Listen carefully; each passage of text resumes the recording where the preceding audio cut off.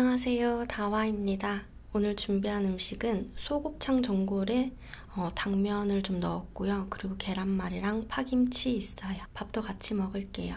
그리고 마실 것은 실론티입니다. 잘 먹겠습니다. 소곱창 전골에 제가 집에 있는 당면을 넣었어요. 되게 얇은 당면이었는데 이렇게 좀 두꺼워졌어요.